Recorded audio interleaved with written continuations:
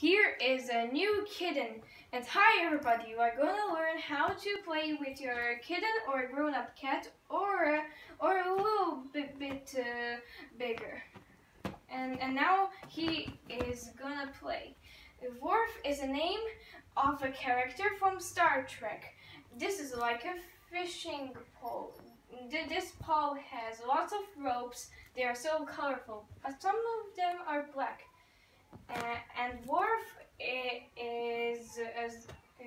Is is is a little bigger cat, but he's so small.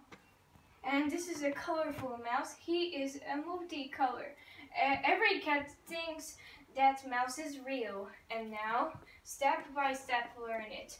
Step one, do this.